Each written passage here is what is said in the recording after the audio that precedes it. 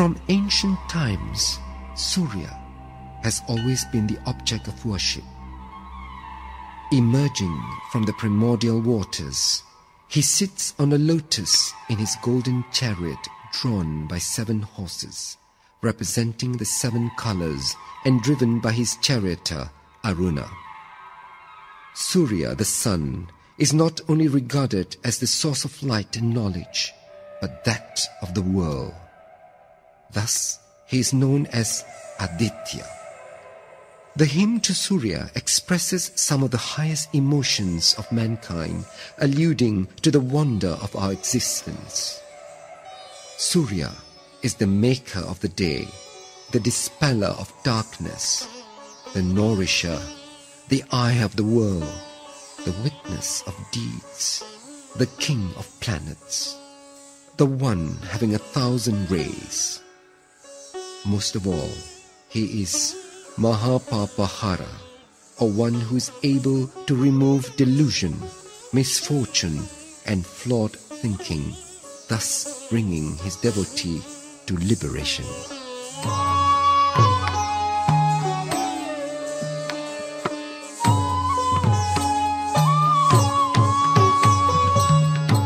Bhaswa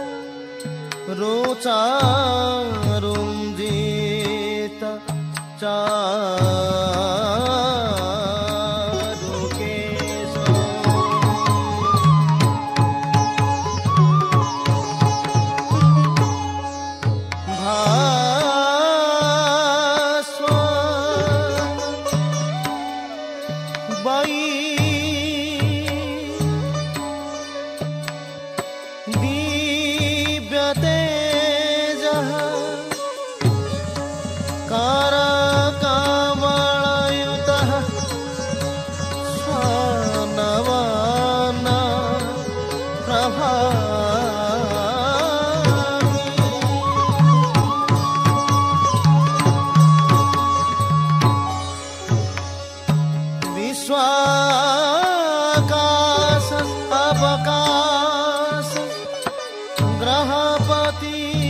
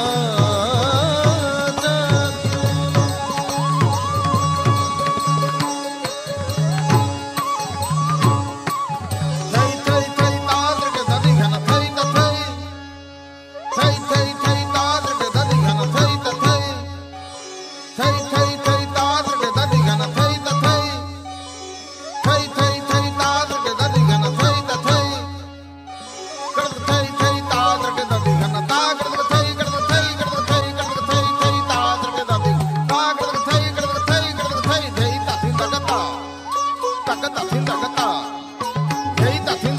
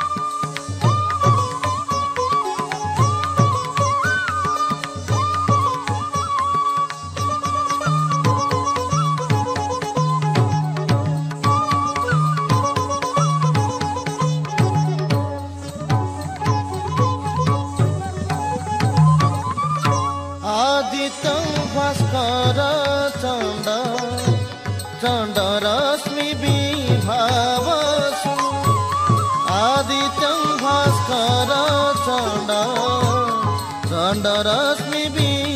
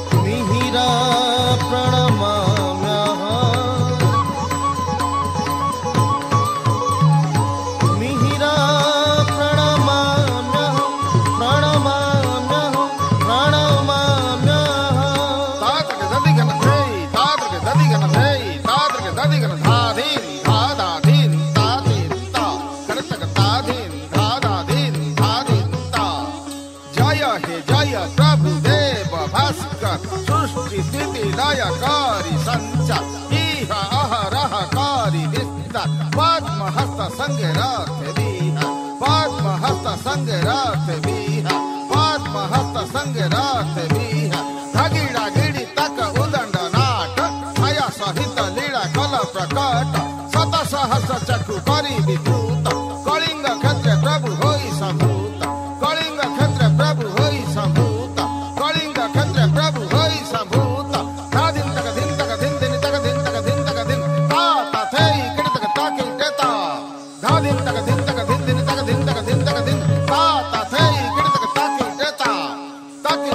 Turn it, turn it, back